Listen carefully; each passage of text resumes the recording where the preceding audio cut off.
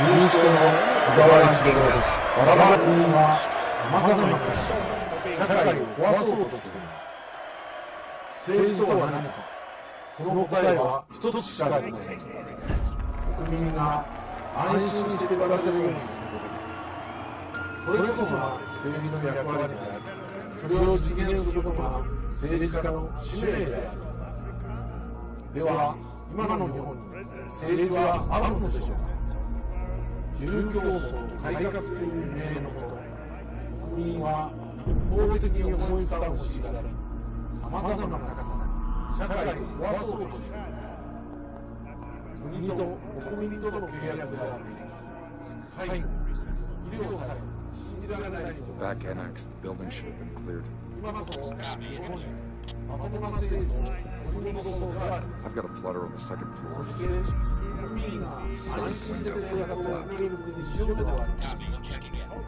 の国を立て直すチャンスは今しかありません国民の利益を守り日本の将来を守るため私は38年間の政治生活すべてを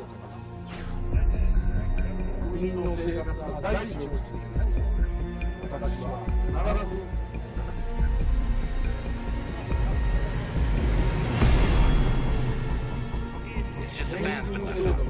We got it. 見えない年金を作ります国民年金バラバラ年金共済年金などバラバラになっている民主と一つにまとめます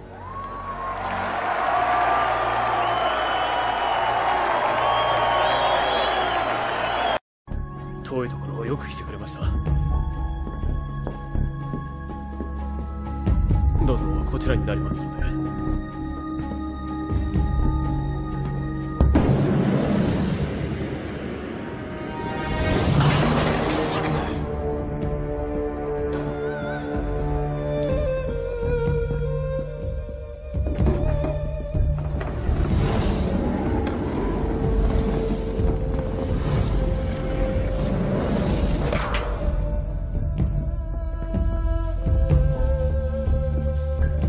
いちょっと待った。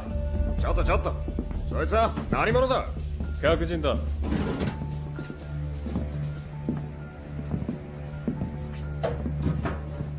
座っていいかな？ああどうぞ